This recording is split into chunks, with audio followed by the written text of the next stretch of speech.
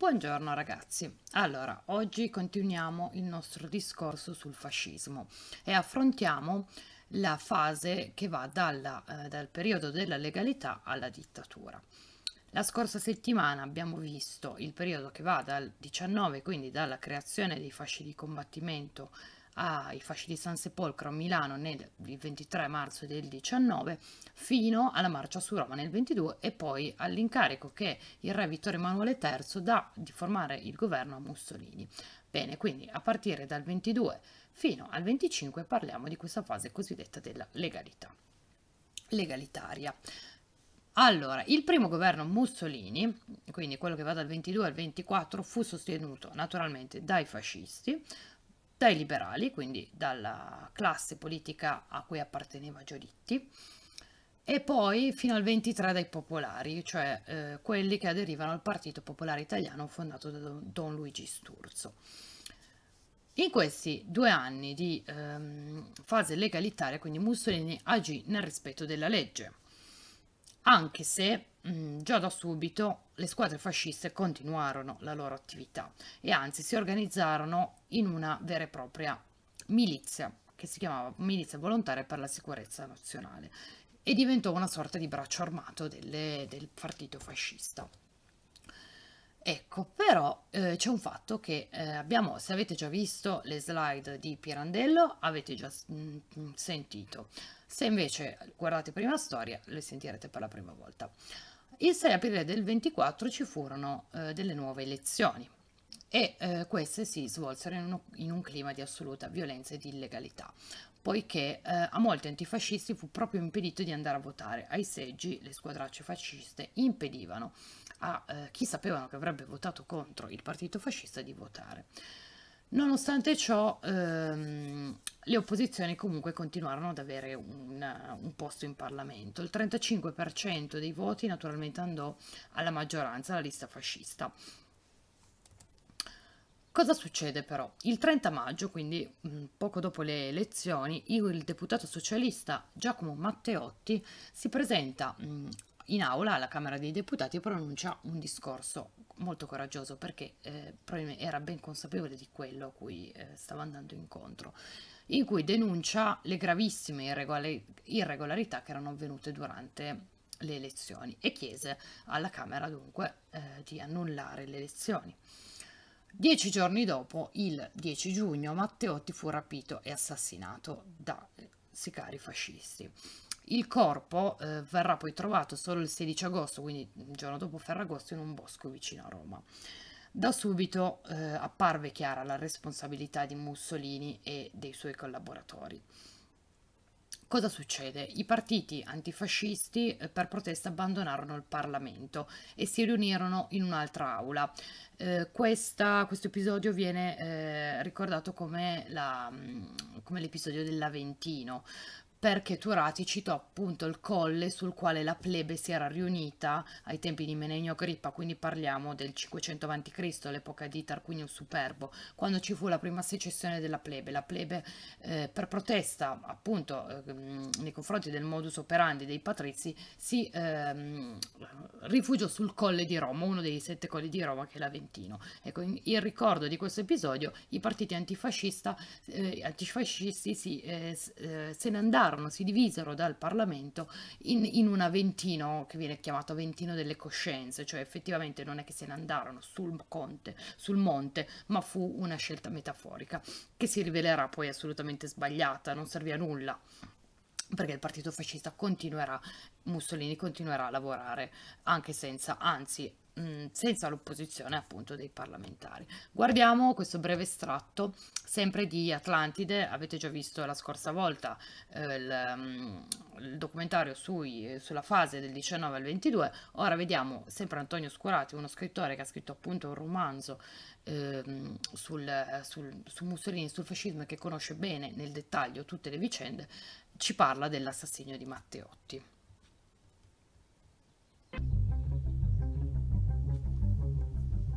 Antonio Scurati, è da questa bottiglieria che partono gli arditi che poi sequestreranno e uccideranno Matteotti. Tutti gli eh. uomini che sequestrano eh, sul Lungotevere a Roma eh, nel qui. giugno vengono da qui, partono esattamente da questo luogo, perché quando nel 24 ehm, eh, Amerigo Dumini, che era uno squadrista toscano, che serviva, era il capo della cieca fascista, di questa diciamo, organizzazione segreta che presso il Ministero dell'Interno faceva il lavoro sporco, eh, andava a manganellare o a far fuori gli oppositori del regime riceve l'incarico probabilmente da Marinelli, il tesoriere, che si trova ad assistere a una delle sfuriate di Mussolini contro Matteotti e con lo zelo degli inetti, dei fessi, interpreta quella sfuriata di Mussolini come un preciso mandato a uccidere. Quando Marinelli dice a Dumini eh, il capo è infuriato, dobbiamo togliergli di mezzo Matteotti, Dumini cosa fa?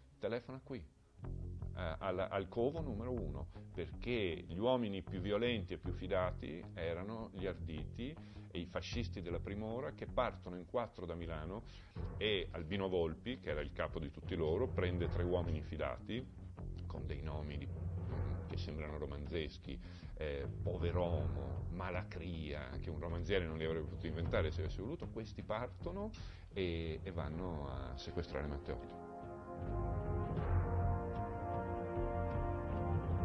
Uno dei, degli enigmi irrisolti e che lo rimarrà per sempre di questo periodo della storia fascista è proprio questo. Mussolini ordinò esplicitamente a Dumini o a qualcuno sopra di lui di prelevare e uccidere Matteotti. Non lo sapremo mai. Certo è che dopo l'ultimo eh, discorso coraggiosissimo di denuncia di Matteotti in Parlamento, Mussolini uscì infuriato e di fronte a più di un testimone, i pochi accoliti, eh, ehm, protestò eh, dicendo è assurdo che quest'uomo circoli ancora. Però tu tieni conto che di queste sfuriate Mussolini le faceva abitualmente, i suoi stretti collaboratori sapevano che faceva parte del suo temperamento e che poi spesso rientravano. Eh, e qui allora non si capisce perché poi invece proprio con Matteotti le cose vanno così avanti. È, è un'ipotesi, un'ipotesi che è accreditata da alcuni storici, mm. che io faccio mia nel, nel sì. romanzo, e cioè che a questa sfuriata, come ti dicevo, abbia assistito il più stolido, il più fedele, il più cieco, il più canino dei suoi servi, cioè Marinelli, il tesoriere, che eh, eh, vide l'occasione di, appunto, di essere più di realista di re e di fare un grande regalo al capo, non solo, ma comandando lui, uomo di conti, gli uomini della guerra. E quindi eh, diede mh, ordine a Dumini di organizzare il sequestro del delitto di Matteotti. Mi raccomando a te, Amerigo, lavorate con il cervello, gli altri ne hanno così poco. Sono abbastanza io, non ti preoccupare, Marinellino. No, guarda chi... O Taravella. Oh, che ci fai, eh? E tu ricevi certa gente, Marinelli, nel tuo sacrario? tu lo conosci questo figuro, eh? Dumini Amerigo. Otto omicidi. Mussolini sembra spiazzato un po' da quello che succede, il che confermerebbe diciamo, una sua estraneità perlomeno rispetto all'ordine eh, di, di sequestrare Matteotti. No, Mussolini è sconvolto, è sconvolto e su questo abbiamo testimonianze dalla brutalità ma dalla stupidità del modo in cui è stato eh, organizzato il sequestro e poi il delitto. Lui non, non conosce i dettagli, questo è certo e i dettagli sono raccapriccianti da un lato e sorprendenti per l'inadeguatezza di questi che si comportano come dei balordi. Eh, Probabilmente non devono neanche ucciderlo nel piano originario. Que questo, questo, è un altro interrogativo a cui non ci sarà mai una risposta. Allora ci sono alcuni elementi proprio fattuali del delitto che fanno pensare che non fosse prevista l'uccisione. Eh, per esempio far sparire il corpo. Non, far sparire il corpo. Questi vanno in cinque in un'auto di grossa cilindrata, si appostano, aspettano eh, Matteotti, lo rapiscono. Fra l'altro la, la cosa... Si fanno notare. Si fanno notare, ma lui, lui combatte. Sì. Lui è uno contro cinque, questi sono uomini della violenza e lui resiste, scalcia, combatte e alcuni ipotizzano che quella coltellata lì nel costato, datagli probabilmente da Albino Volpi in maniera estemporanea, fu dovuta al fatto che Matteotti non, eh, riuscivano, a tenerlo. non riuscivano a tenerlo. Spaccò il finestrino a calci e riuscì a gettare il suo tesserino da parlamentare sul, su, come in un film eh, d'azione certo. sul, sul Lungotevere.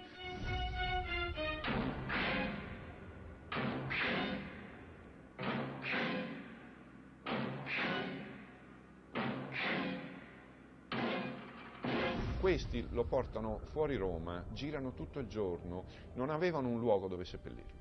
Quindi sembra molto Girano tutto il giorno, alla fa. fine trovano questo macchione eh, questa, nell'agro romano, sì, vicino, Riano. Eh, vicino Riano, e scavano la fossa con una, con una lima che trovano nel portabagagli, perché non hanno neanche una pala.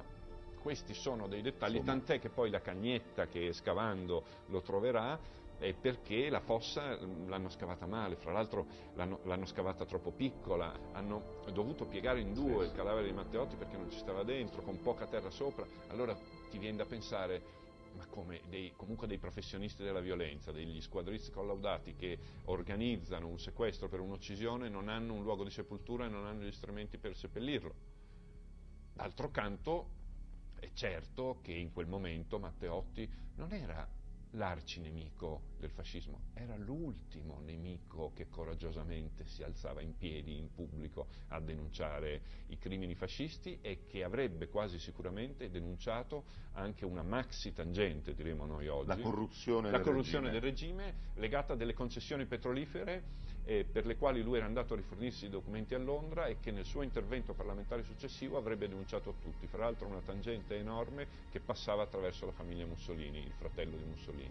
E quindi la volontà omicida da un lato è, è quasi ovvia, ma dall'altro alcuni dettagli di Lui sto... era già scampato a un, a un sequestro, rapimento, punizione. Tu, tu pensa il, il, il coraggio e l'audacia di quest'uomo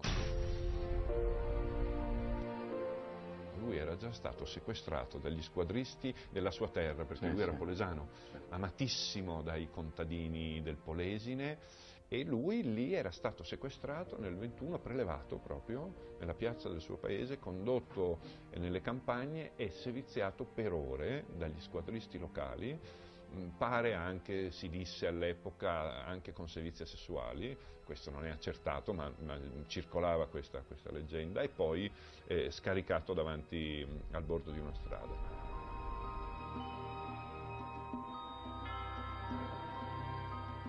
Dunque il delitto Matteotti può essere considerato la definitiva perdita dell'innocenza per il fascismo? Sì e no, nel senso che il fascismo aveva mostrato, come io racconto, il suo volto brutale e violento fin dal primo giorno. Quando questi arditi, questi squadristi sequestrano in strada, in pieno giorno, nel centro di Roma, un onorevole, un parlamentare, e il paese che si era assuefatto alla violenza fascista ehm, è, è, percorso da un brivido di autentico orrore. Il fascismo viene rigettato, tu, non si vede più in giro uno con la spilla fascista, Mussolini si ritrova da solo nei suoi uffici. Ecco, quello è, veramente il momento in cui diciamo, Mussolini è su un crinale, no? basterebbe un nulla per farlo precipitare e D'Annunzio in quel momento potrebbe essere l'uomo che lo fa precipitare ma non lo fa. Basterebbe che D'Annunzio parlasse eh, D'Annunzio in una corrispondenza privata con un suo amico in quei mesi definisce il delitto Matteotti con il suo linguaggio aulico sì. una fetida ruina. Cioè una porcata. Una porcata, uno sfacelo fetente e molti, anche nazionalisti, anche di destra, anche i suoi legionari, anche ex combattenti, aspettano che D'Annunzio finalmente parli, perché lui ha, è l'unico uomo in Italia che ha il carisma eh, presso tutta diciamo, la destra per poter scalzare Mussolini. Perché non lo fa? Non lo fa innanzitutto perché è un uomo finito.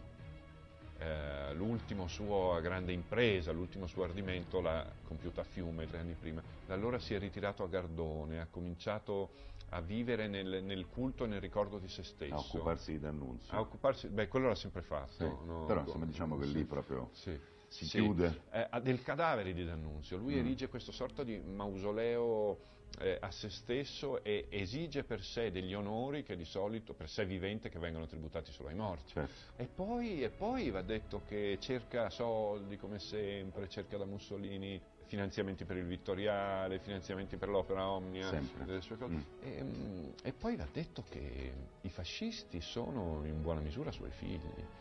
Ehm, nel senso che buona parte della, degli slogan, dei motti, dei gesti estetici, anche dell'ideologia dei fascisti sono d'annunziani, eh, tantissime cose, a cominciare non so da eia, eia, la la, tutte queste cose qui, eh, nudi alla meta, chi si ferma sono tutte frasi di D'Annunzio. E lui però, il suo mh, estetismo egoista, ehm, più che indignato dalla violenza e dalla brutalità dei fascisti, è indignato dalla cattiva imitazione che fanno di, di, di lui.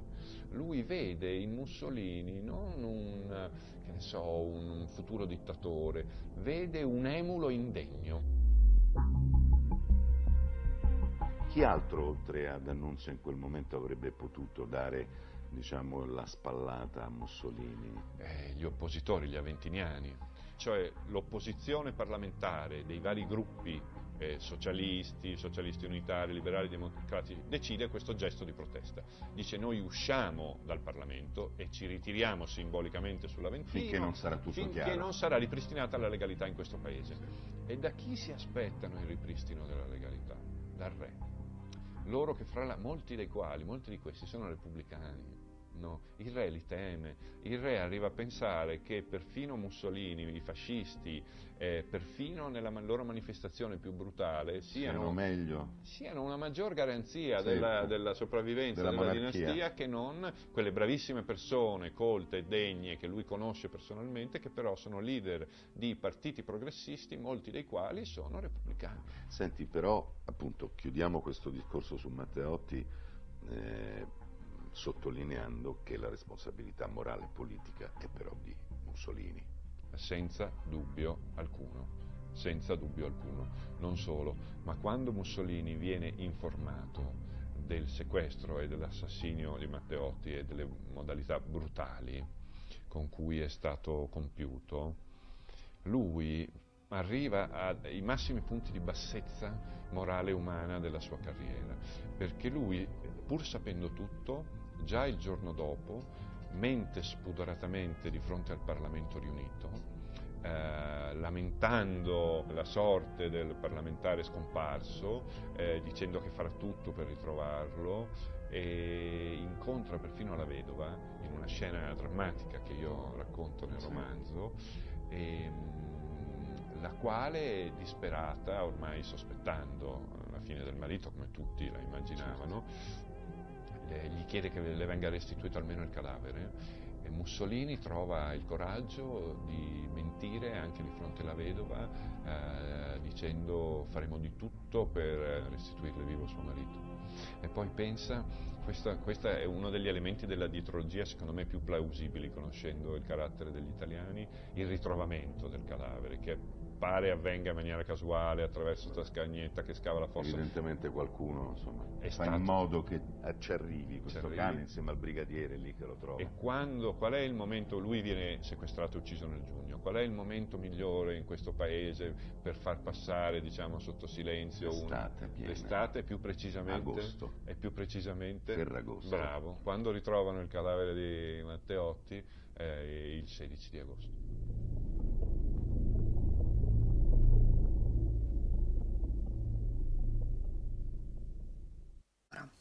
Quindi avete potuto sentire da, da, da, Antonio Scurati e dal presentatore del programma Andrea Purgatori come avviene la vicenda, come si svolge la vicenda del delitto Matteotti. Quindi eh, la responsabilità civile e morale del delitto è da attribuirsi sicuramente a Mussolini, anche se sappiamo che Mussolini non uccise lui in prima persona Matteotti. Comunque il delitto Matteotti viene considerato dunque uno spartiacque tra il periodo legalitario e l'inizio della dittatura. Ora vediamo appunto come inizia la dittatura tramite uno di quelli che eh, sono stati considerati uno degli atti più simbolici no, del passaggio della dittatura, che è questo celebre discorso fatto da Mussolini il 3 gennaio del 1925. Allora, noi vediamo un uh, piccolo estratto di un film che uh, si chiama appunto Il delitto Matteotti. È un film, però le parole che vengono dette dall'attore che uh, fa, um, recita nella parte di Mussolini sono le esatte parole del discorso di Mussolini di quel giorno.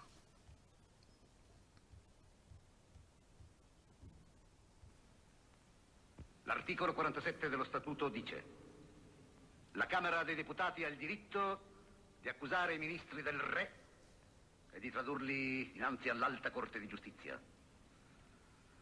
Domando formalmente se in questa Camera o fuori di questa Camera c'è qualcuno che si voglia valere dell'articolo 47.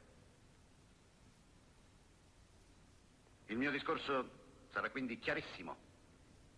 Sono io, o oh signori, che levo in quest'aula l'accusa contro me stesso.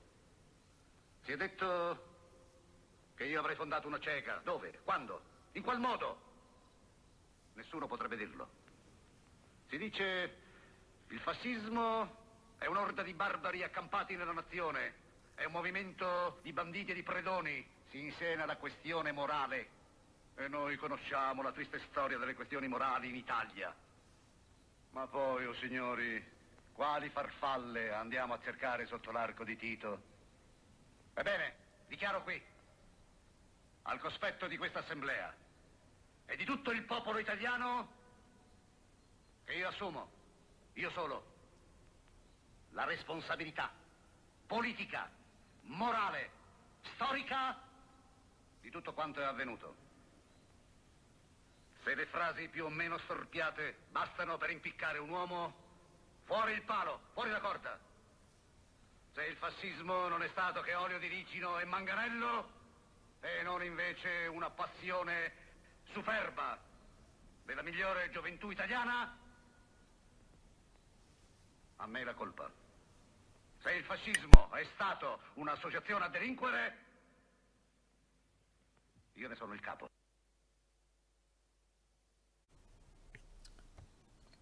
Allora, quindi tu, dopo il discorso del 3 gennaio del 1925, quello che avete appena sentito, inizia la vera e propria dittatura fascista, il regime fascista.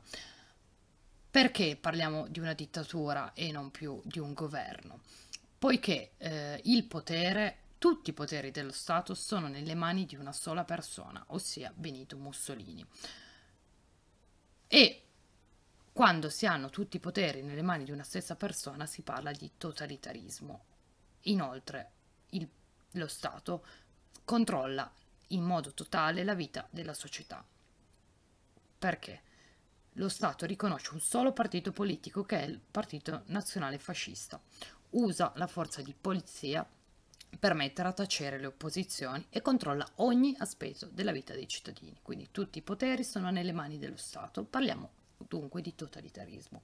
Quando vedremo, abbiamo già visto, eh, accennato eh, il potere di Stalin in Russia, quando vedremo il potere di Hitler in, um, in Germania, vedremo che il totalitarismo italiano si differenzia dal totalitarismo eh, tedesco e sovietico, poiché quello italiano noi lo consideriamo, seppur eh, l'invasione nella vita privata dei cittadini e l'opposizione eh, ai nemici fosse assolutamente violenta, il totalitarismo italiano ha una particolarità, infatti viene detto imperfetto, poiché in realtà un potere che era al di sopra del potere di Mussolini c'era, che era quello del re. Il re è sempre stato lì e ha sempre potuto eh, in un certo momento togliere il potere a Mussolini. Così succederà infatti nel 1943, quando lo destituirà e Mussolini dovrà scappare e dando poi inizio all'occupazione tedesca in Italia, mentre in Germania e in, ehm, in Russia non c'era un re, uno perché lo zar era stato battuto in Russia e in Germania non c'era più il re, era diventata una repubblica. Di conseguenza ricordiamoci che il re c'è sempre e per il momento è sempre a favore delle eh, iniziative di Mussolini. Infatti qualsiasi ehm, decisione del governo comunque doveva avere la firma del re. Nel 25, eh, a partire dal 25, vengono promulgate una serie di leggi che eh, ricordiamo come le leggi fascistissime. Infatti nel 26 vennero sciolti tutti i partiti di opposizione e i parlamentari automaticamente persero la carica. Quindi eh, venne messo fuori legge il Partito Popolare Italiano, venne messo fuori legge il Partito Socialista, il Partito Comunista e via dicendo. Vennero chiusi anche tutti i giornali antifascisti vedremo che l'unico, non l'unico, ma il giornale più importante diventerà il Popolo d'Italia, che aveva fondato lo stesso Mussolini, che inizialmente era un giornale socialista, poi divenne l'organo partito, del partito fascista.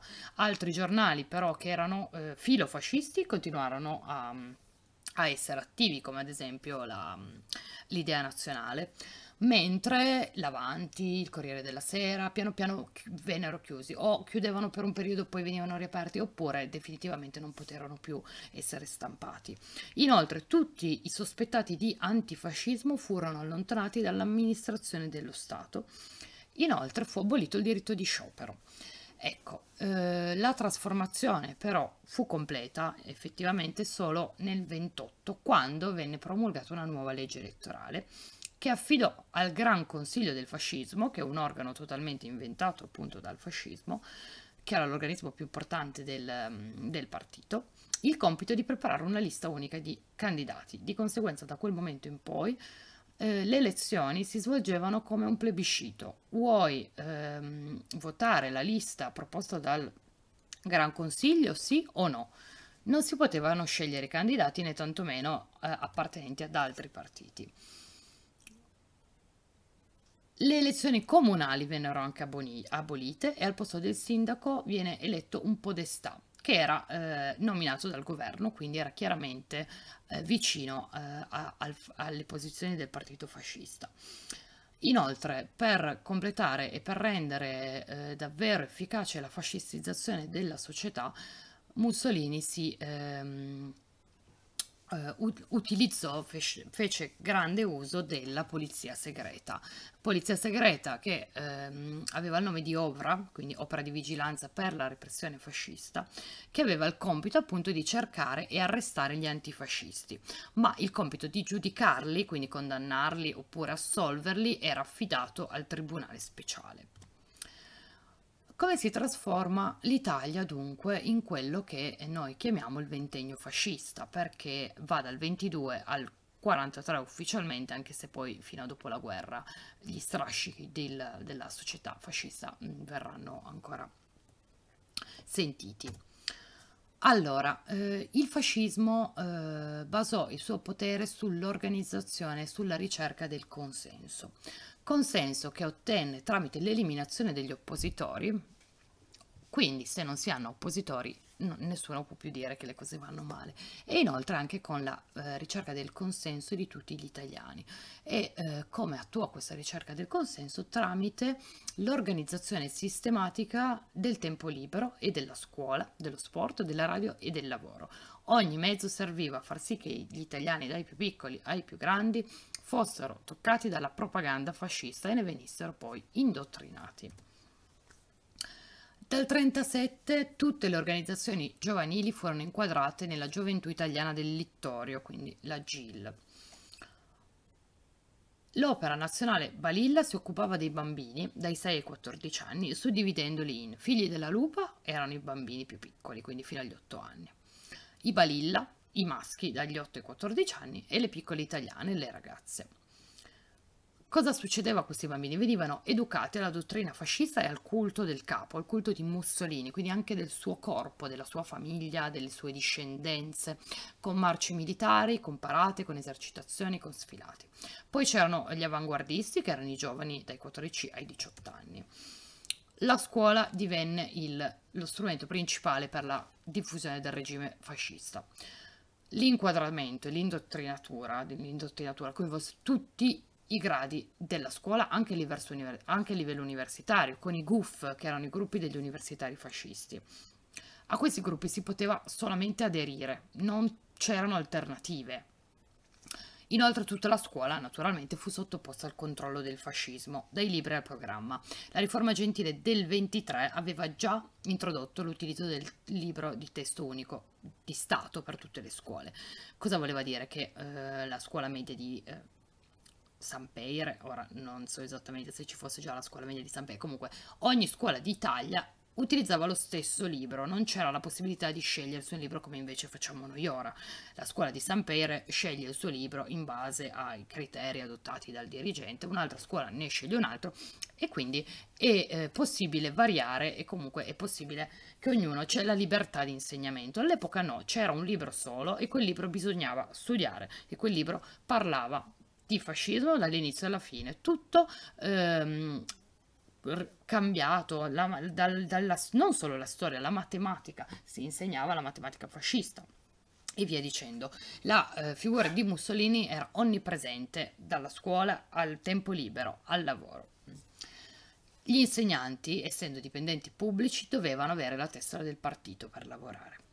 Tra le materie, l'educazione fisica veniva considerata più importante, non delle altre, ma molto importante, perché ehm, secondo il fascismo lo sport era altamente formativo perché non solo contribuiva a creare un corpo sano e forte, ma anche perché abituava alla disciplina e all'obbedienza, che era il principale obiettivo del fascismo, ossia rendere il popolo italiano un popolo che obbedisce e che non trasgredisce le regole del duce, del comandante che è Mussolini. Ma oltre alla scuola ce n'erano altri di eh, strumenti per eh, mettere in pratica la propaganda fascista. Infatti a partire dal 1937 tutte le attività culturali furono controllate da un neonato Ministero della Cultura Popolare che venne chiamato, eh, abbreviandolo, Minkul Pop. Quali erano questi strumenti? La radio. La ra- eh, il fascismo utilizzò in modo massiccio la radio per ampliare il consenso e si rivelò uno strumento particolarmente efficace perché la radio era presente in ogni casa, a differenza della televisione che era uno strumento ancora per persone più ricche. Invece nelle famiglie italiane c'era, in tutte le famiglie c'era una radio. Vennero ehm, studiati dei, un palinsesto molto, molto ben delineato per indottrinare qualsiasi italiano, dai bambini, quindi c'erano i programmi per i bambini, per gli adulti, per i giovani, che parlavano di fascismo, che ehm, parlavano di attualità, di storia, ehm, di un vero e proprio eh, programma di cronache del, ehm, del partito e del regime. Venivano eh, diffusi documentari, cinegiornali, anche nei cinema e questo è il periodo in cui nasce l'Istituto Luce, l'istituto che nasce come organo del partito fascista e poi diventerà mh, mm, invece eh, il, l'organo di do- documentazione della RAI. Il, la parola luce è un acrostico che mh, mm, venne coniata tra le tante cose da D'Annunzio, come la Fiat tra l'altro, che deriva da Fiat, Lux sia luce. Comunque, eh, quindi il tempo libero veniva organizzato tramite radio, telegiornali, ma anche nei circoli, nel dopolavoro, che erano delle organizzazioni di tempo libero eh, in cui eh, gli operai, i vari lavoratori si trovavano dopo il lavoro appunto e anche qua si trovava il modo per indottrinare gli italiani eh, e convincerli dell'importanza e della mh, mm, positività dell'esperienza del regime. Per assistere le madri e i bambini invece venne creato l'Omni, ossia l'Opera Nazionale per la Maternità e la, mm, eh, l'infanzia. A proposito della donna, qual era il ruolo della donna? Secondo la dottrina fascista, la donna era colei che si doveva dedicare alla casa e ai figli. Doveva farne tanti di figli. Perché? Perché il fascismo voleva che eh, l'Italia avesse tanti figli che potessero un giorno servire la patria. Infatti le famiglie con molti figli venivano premiate, c'era addirittura una gara, chi aveva più famiglie, eh, chi, chi aveva più figli veniva premiato addirittura da Mussolini stesso. L'obiettivo, lo scopo della donna era quindi quello di procreare, veniva ehm, nell'immaginario eh, fascista la donna era l'angelo del focolare, stava a casa, cucinava e serviva l'uomo e i figli. Questo è uno dei, dei tanti esempi di, mm, di manuale no?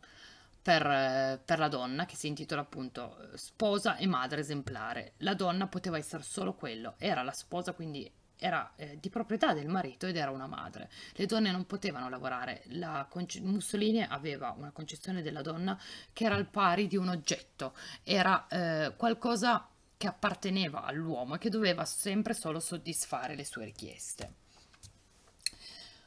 La propaganda intervenì anche attraverso il, l'uso di nuovi termini e eh, nella creazione di un vero e proprio dizionario fascista. Infatti eh, il fascismo introdusse l'uso del voi al posto del lei perché lei era considerato troppo femminile. Alle autorità, alla maestra, agli adulti bisognava dare del voi.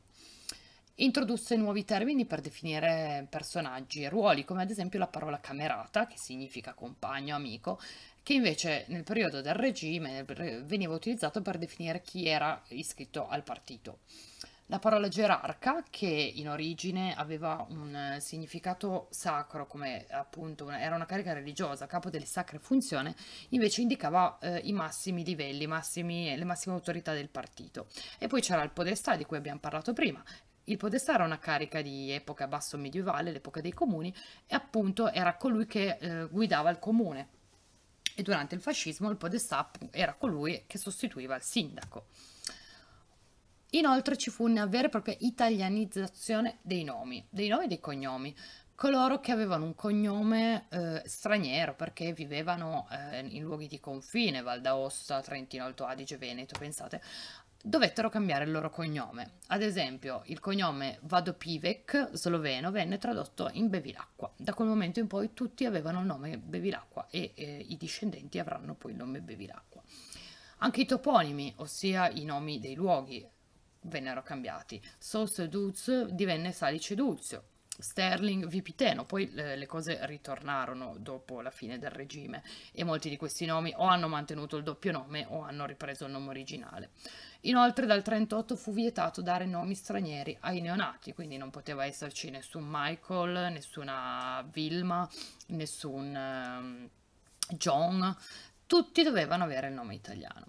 E inoltre molti nomi che erano entrati ormai nel gergo eh, italiano con il nome originale i, mh, straniero dovettero essere tradotti. Ecco qua abbiamo qualche esempio. La brioche di origine francese divenne briosca, il dessert fine pasco, pasto, il film pellicola o film, film, filmno, filmino, l'hotel fu chiamato albergo, il menù lista, oppure cose ancora più fantasiose, ad esempio il panorama, eh, tutto, tutto, che si vede, perché panorama non è italiano, garage divenne rimessa, il sandwich tra i due che poi divenne tra tramezzino o croissant cornetto, alcune di queste cose ormai sono anche rimaste nel nostro modo di parlare. Il picnic pranzo al sole fortunatamente non ha mai preso piede e noi lo chiamiamo tuttora picnic, però pensate a quanto eh, secondo Mussolini, secondo il regime fosse importante creare proprio una nuova eh, cultura che era la cultura fascista. Naturalmente, nonostante il consenso fosse obbligatorio e ci fosse il divieto di opporsi, l'opposizione al fascismo esisteva e l'antifascismo c'era e agiva per vie traverse, vie nascoste, vie eh, che non erano alla luce del sole perché se no sarebbero stati denunciati e probabilmente condannati. Mm, c'era l'antifascismo dunque di marca liberale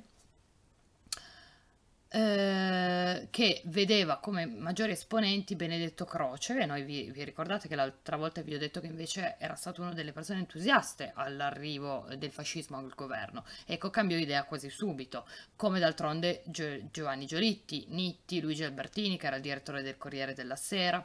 Ecco, alcuni di loro avevano inizialmente eh, avuto simpatia per il fascismo, ma soprattutto dopo il delitto Matteotti, cambiarono totalmente idea.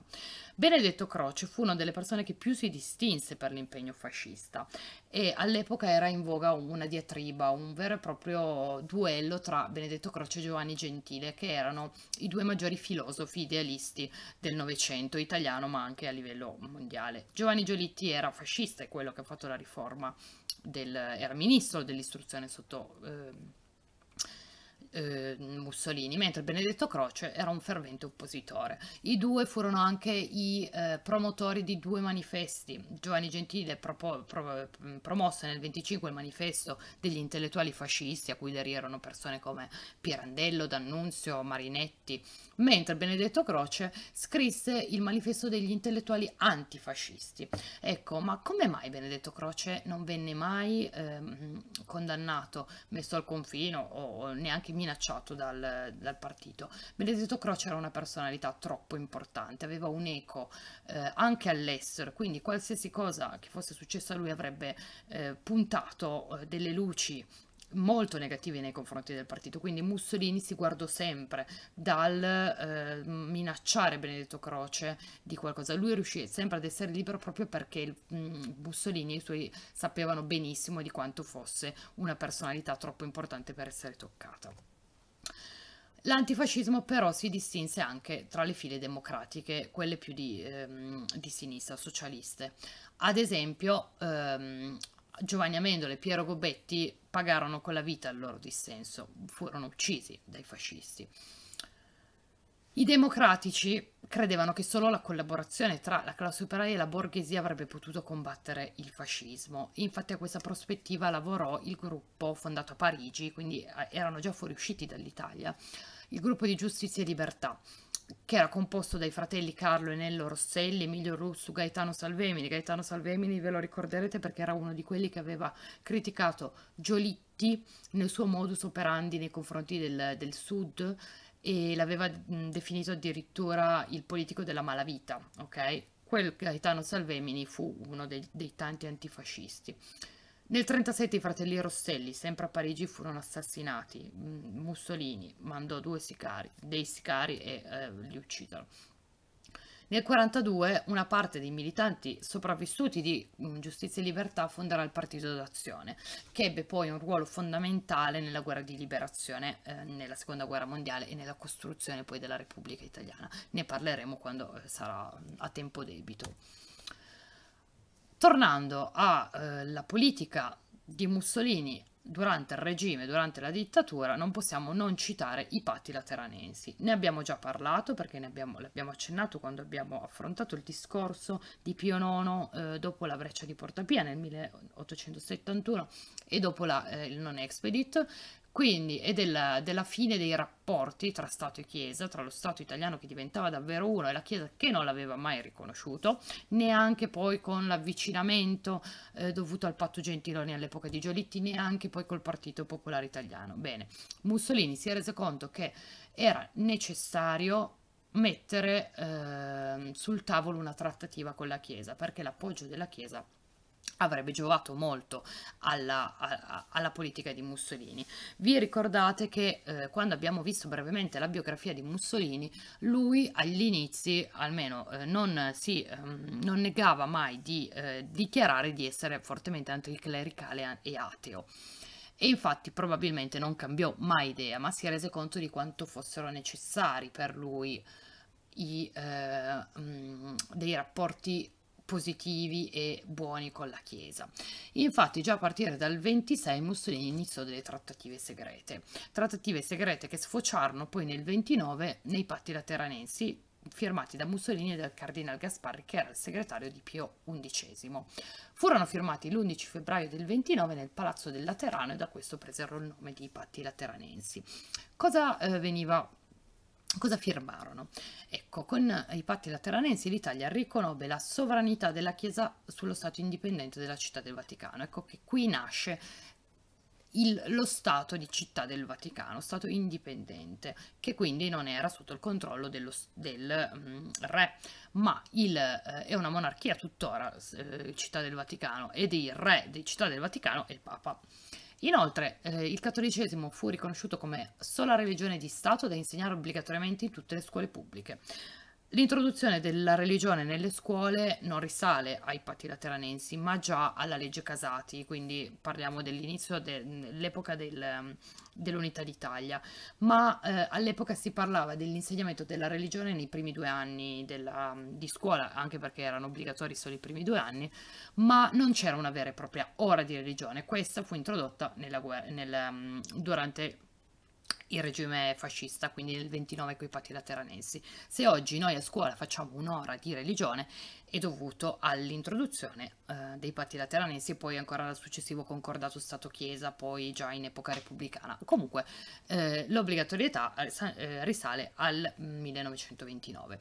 Inoltre, ha, ha una cosa ancora più importante, l'equivalenza del matrimonio religioso con quello civile da quel momento in poi chi si sposa in chiesa, e succede tuttora, eh, si automaticamente sposa anche in comune perché il rito religioso, alla fine del rito si firmano anche le carte per il rito civile, non, non, si può fare solo il matrimonio religioso e non quello civile, è una cosa unica, mentre si può fare solo il matrimonio civile e non quello religioso, ecco, questo naturalmente sia ben chiaro. Cosa eh, fa il Vaticano in, um, in cambio? Riconosce eh, il Regno d'Italia la sua capitale, Roma. Quindi da quel momento in poi lo Stato, di, eh, lo Stato della Chiesa, quindi il Papa, dice ok, l'Italia esiste e Roma è la sua capitale. Fino a quel momento no, dal, dal 61, cioè, e poi dal 71 dalla breccia di Porta Pia, eh, quando Roma diventa capitale d'Italia, fino al 29 le, i papi non avevano riconosciuto Roma nel 29 Pio XI riconosce Roma capitale. Molti cattolici sapevano benissimo, come vi ho detto prima, che in realtà Mussolini non fosse realmente ehm, un cattolico fervente. Anzi, Don Luigi Sturzo, il fondatore del Partito Popolare Italiano, eh, che era stato messo fuori legge nel 26, così scrive Così commento.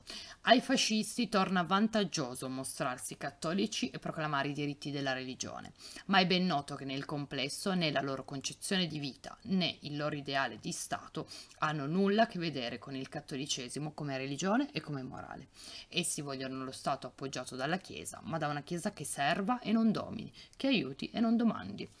Quindi quello che vi avevo accennato prima era già stato pensato e detto da Don Luigi Sturzo. Mussolini fa questo patto non per ehm, reale vicinanza degli ideali del fascismo con quelli del cattolicesimo, perché eh, il fascismo era basato sulla violenza fin dall'inizio e la Chiesa ehm, aborre la, la violenza, no? ma perché gli conveniva avere un alleato così potente. Parlando invece di economia, vediamo come si ehm, sviluppa la politica economica del fascismo. Un, in un primo momento il fascismo è favorevole all'iniziativa privata e al libero mercato, quindi sviluppa una politica di tipo più liberista perché non voleva perdere l'appoggio degli industriali e dei proprietari terrieri. Però nel 26 c'è un cambio di direzione netto. Lo Stato inizia a intervenire sempre di più nella vita economica degli italiani, ma la scelta è eh, dovuta all'esigenza di affrontare vari problemi di tipo economico, ad esempio la eh, perdita di valore della lira. Mm. Per arrestare la svalutazione della lira si cercò di limitare le importazioni.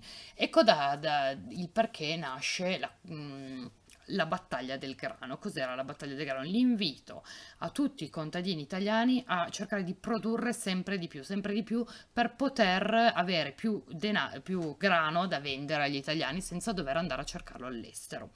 E qui che inizia la vera e propria mh, politica autarchica. Cosa vuol dire autarchia? Bastare a se stessi, quindi l'Italia doveva produrre per l'Italia, tutto ciò che serviva all'Italia doveva essere fatto in Italia, l'Italia doveva diventare economicamente autosufficiente. Problema però che l'Italia fosse molto arretrata, soprattutto al sud e la politica, la propaganda fascista cercò di convincere gli italiani della necessità dell'autarchia, cioè non volevano come eh, veniva attuata l'italianizzazione nella cultura, nei nomi, doveva essere attuata l'italianizzazione anche sul fronte economico, non doveva essere acquistato nessun prodotto straniero. Per questo eh, il regime invitò gli italiani a raccogliere e recuperare tutto, anche dei rottami di ferro e addirittura consegnare alla patria l'oro a un certo punto fu ehm, eh, lanciata l'idea di, che era obbligatoria, di dover donare le proprie fedi al, alla patria, donare l'oro che si aveva a casa per fare un regalo, per contribuire all'economia dell'Italia e, e, molti lo fecero. Chi riuscì a nascondere le fedi eh, non venne beccato, ma altri, tutti gli altri dovettero consegnare le fedi nuziali a Mussolini. Inoltre, per favorire lo sviluppo dell'agricoltura furono bonificate molte aree. Ad esempio, l'intervento più, più, importante fu quello nell'Agropontino, dove eh, fu costruita una città nuova, che è quella di Littoria, che si chiamava Littoria, ma che poi, eh, dopo la fine del regime, mh, mm, fu cambiato il nome in Latina, l'attuale Latina. Il fascismo fece molta propaganda con i risultati di queste opere, anche se in realtà l'autarchia non fece altro che indebolire ulteriormente l'economia italiana. Infatti l'Italia rimase ancora più arretrata di prima. Si pensi che, nel, per fare qualche esempio, nel 1938 in Italia c'era una automobile ogni 100 abitanti. In Inghilterra nello stesso anno ce n'era una ogni 20 e in Francia ehm, sempre nel 1938 in Italia c'era un telefono ogni 70 abitanti uno ogni eh, 13 in Inghilterra e uno ogni 27 in Francia. Mm? Nel 38 il reddito medio, medio, di un italiano era, di un, era, la metà di quello francese, un terzo di quello inglese, un quarto di quello statunitense. Quindi vuol dire che un italiano a parità di eh, lavoro prendeva la metà di quello che prendeva un francese e un quarto di quello che prendeva gli, uno statunitense. Questo vuol dire che l'economia era messa, era quasi in ginocchio. Parliamo ancora del, del, corporativismo. Durante il fascismo, infatti, mm, lo Stato intervenne anche nei, in confronto, nei confronti delle banche e delle industrie. Nel 29, mh, mm, quando gli effetti, poi parleremo anche della crisi, del crollo della banca di Wall Street in America, eh, che avvenne nel 29, ecco, quando eh, piano piano gli effetti iniziarono a farsi sentire anche in Europa. Allora, come reagì il fascismo? Nel 1931 creò l'IMI, l'Istituto Mobiliare Italiano, che aveva il compito di sostituire le banche in crisi nel finanziamento delle industrie. Inoltre nel 1933 fu creato l'IRI, l'Istituto per la ricostruzione industriale, cioè con l'IRI l'IRI poteva acquistare, utilizzare le risorse dello Stato per comprare azioni delle industrie in crisi eh, rendendo così di fatto una buona parte di industrie statali. Quindi lo Stato acquistò molte industrie che stavano andando in crisi, stavano fallendo. Però i costi eh, della crisi dell'industria ricaddero soprattutto sugli operai.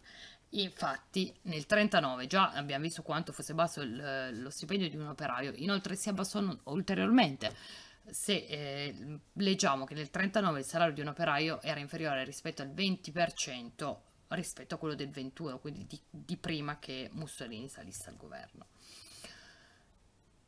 I, di pari passo col corporativismo però si cancellarono i diritti dei lavoratori. Infatti mh, non avendo più il diritto di sciopero e non, potevano, non potendosi più riunire in sindacati liberi a partire dal 26, perché mh, era stato creato un unico sindacato che era quello fascista, i lavoratori non avevano più mezzi per poter contrastare questa situazione, non potevano ribellarsi.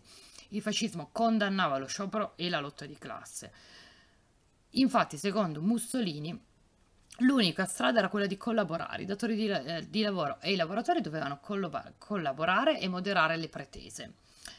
Questa posizione si chiamava corporativismo, infatti mh, mm, era eh, realizzata attraverso corporazioni, che erano delle organizzazioni di lavoratori e imprenditori appartenenti allo stesso settore economico, quindi c'era quella siderurgica, quella meccanica, quella alimentare, quella mh, mm, chimica, ok le corporazioni avrebbero dovuto affrontare e risolvere i problemi in uno spirito di collaborazione. Peccato che non funzionarono perché servirono solo a tenere basso il costo del lavoro. Queste corporazioni non affrontavano davvero i problemi perché i problemi venivano messi a tacere. Se un operaio voleva lo stipendio più alto ma l'imprenditore non glielo poteva dare, lo stipendio rimaneva tale e quale. Ok, per oggi eh, ci fermiamo qui. Continueremo la prossima volta con la politica eh, estera dell'Italia, la politica di conquista che ha, ha bisogno di più tempo ehm, per essere analizzata. Quindi rivedetevi queste slide che vi lascio anche in PDF. Se avete dei dubbi poi ne parliamo in video chat. E eh, il compito di questa settimana consiste nel realizzare dei, degli schemi o delle mappe concettuali, dei riassunti, quello che eh, più è congeniale a voi per poi poter studiare meglio. Quindi non è un compito che fate per mm, far contenta me, ma è un compito che fate e che dovete farmi vedere. Però serve a voi perché fate